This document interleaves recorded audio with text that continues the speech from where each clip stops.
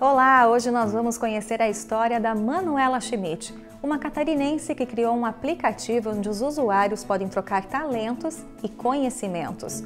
Uma rede de apoio que faz bem para quem recebe e para quem oferece ajuda. Fica comigo que o Rede de Inclusão já está no ar.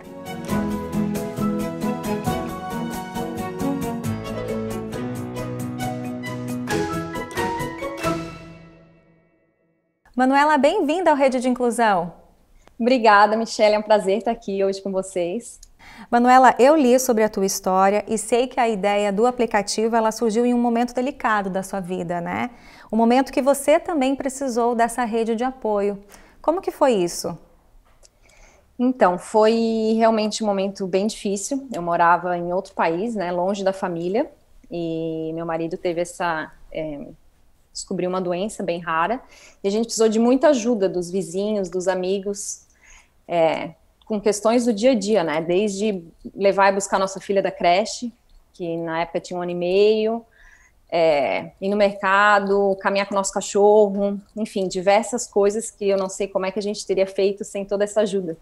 Né? E daí que surgiu a ideia do, do aplicativo, da plataforma, né? Que é mais que um aplicativo, que tem na versão web também.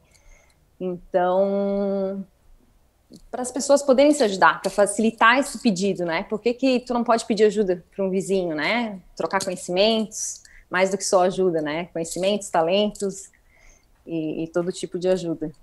E nesse momento que você precisou, você teve esse apoio quando você morava fora? Imagina, eu imagino, morando fora, né? Às vezes a gente está tem um vizinho ali do lado e muitas vezes não o conhece. Imagina você morando fora, né? Como que foi isso? Você recebeu esse apoio?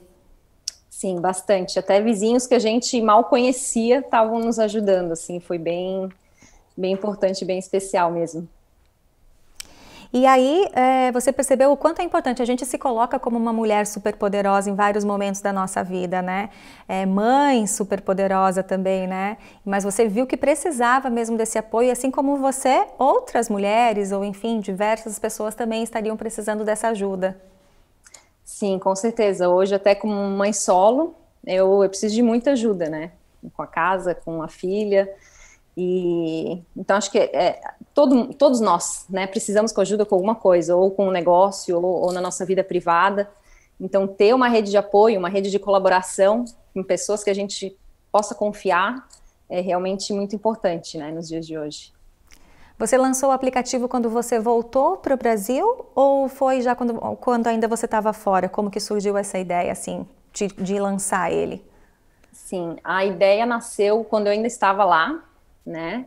Logo depois que eu perdi meu marido, mas eu fui colocar em prática mesmo depois que eu cheguei aqui, um ano depois, na verdade, né? Eu passei por todo um processo, então demorou até eu começar a botar no papel. Eu sou designer digital, então para mim foi foi fácil começar a desenhar e, e tudo fluiu assim bem.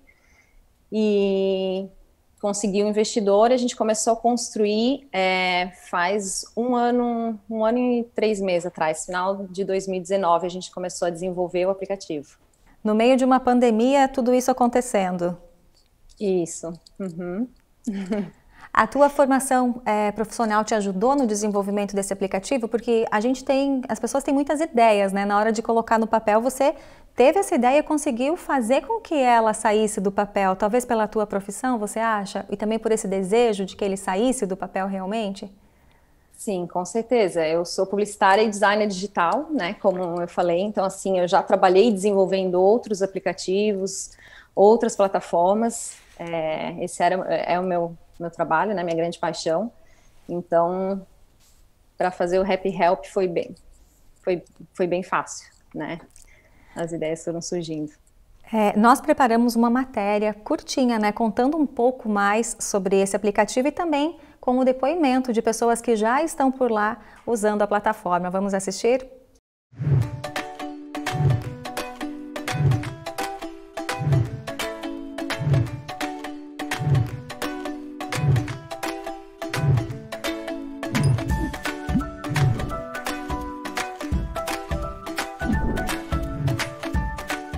A ideia principal é fazer conexões, conhecer pessoas novas, ensinar o que se sabe, aprender o que precisa. Já são centenas de usuários no aplicativo.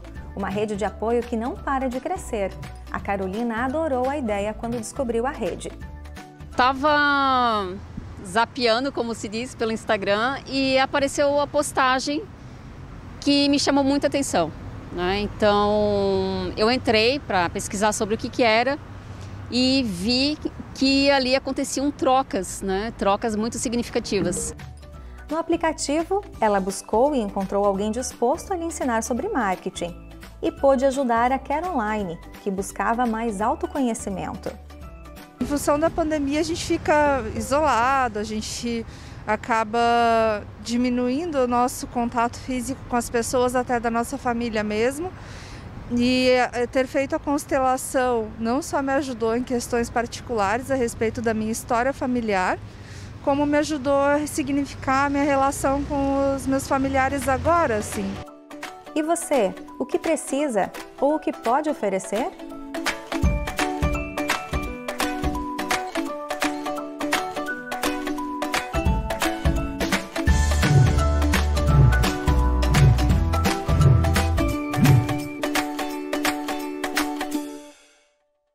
Manuela, o que a gente percebe é que é uma rede de apoio ampla, né? Tem de tudo ali. Tem, tem de tudo, desde terapia, ou ajuda para quem está abrindo um pequeno negócio, é, ajudas com o dia a dia, ou trocas de conhecimento, até para aprender a cozinhar, ou aprender uma nova língua. Tem um pouco de tudo lá dentro mesmo já. É o auxílio para as mais diversas atividades, então, né? O que a gente percebe é que é uma doação espontânea, mas também vocês têm um, uma espécie de moedinha que funciona ali dentro da plataforma. Explica para a gente um pouco melhor. Então, isso é para facilitar, né? Pra, se chama Happy Coins, que é essa moedinha. Então, cada vez que você ajuda alguém, você ganha essas Happy Coins. Tem diversos outros modos também de ganhar.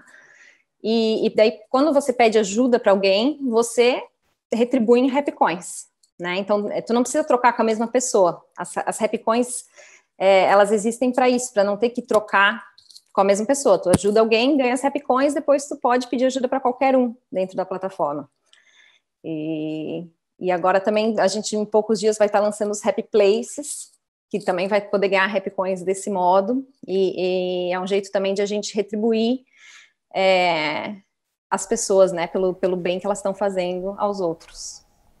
Como que as pessoas podem acessar o aplicativo? Ele é totalmente gratuito, né? E ainda tem essas recompensas que a gente está falando. É, e onde que as pessoas podem entrar para participar disso, sendo para buscar uma ajuda ou para oferecer algo que elas tenham a oferecer? Ele está disponível pela web, né, que é www.happyhelp.com.br ou o aplicativo Happy Help, que está disponível tanto no Android quanto no iPhone e é gratuito. E basta as pessoas se cadastrarem por ali, né, registrar como é que ela pode contribuir, como é que ela pode ajudar os outros e, e buscar aquilo que ela necessita. Manuela, que histórias você tem para contar já aí do aplicativo que você deve acompanhar tudo muito de perto, né? É, o que, que você tem para contar? Assim, a gente mostrou agora um exemplo, mas quantas outras histórias aí? A gente às vezes nem imagina o que, que o outro está precisando, às vezes não é nenhum uma troca de algo tão concreto, talvez só um ombro amigo, uma, alguém para conversar. Existe isso também dentro da plataforma? Existe, existe bastante gente até oferecendo bate-papo, amizade. tem, tem de tudo um pouco, são histórias lindas que diariamente a gente escuta, é, de pessoas que estão aprendendo coisas novas, que estão, às vezes, superando uma depressão até. Então, a gente recebe mensagens bem, bem lindas e é bem gratificante para a gente aqui que está tá trabalhando por trás disso. O teu objetivo quando você criou o aplicativo era realmente formar uma comunidade é, que funcione, eu acho, né? Uma comunidade. A gente fala tanto em comunidade, em estar junto das pessoas que a gente viver em comunidade, mas acho que é, o viver em comunidade realmente é isso, é poder se doar para o outro, né?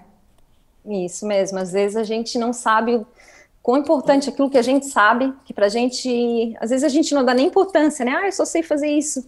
Mas às vezes para outra pessoa pode ajudar tanto, pode, né, mudar a vida dela. Então, assim, ainda mais agora na pandemia, que está todo mundo tão distante, né? Cada um, às vezes, no seu lar.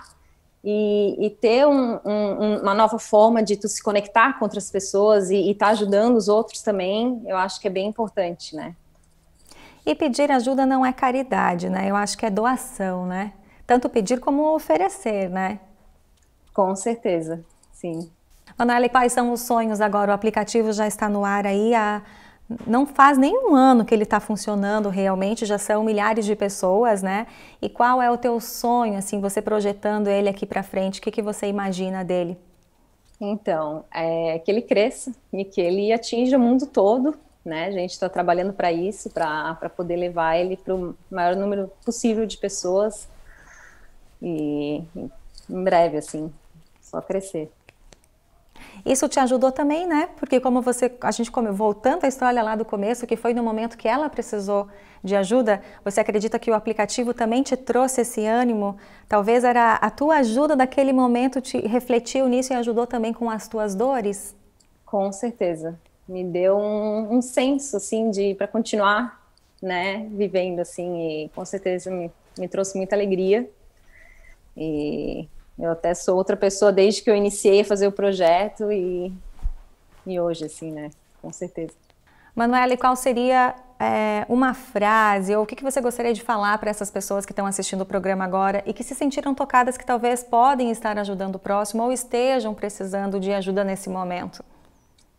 Então, fica aqui o meu convite para que todos vocês venham, se juntem a nós nesse grande movimento né, de colaboração e, e que é isso, se cada, cada um de nós fizer um pouquinho para o próximo, eu acho que a gente pode até mudar o mundo, né? Isso com certeza. E para quem quer seguir, então, o aplicativo, esse trabalho, vocês estão também nas redes sociais, né?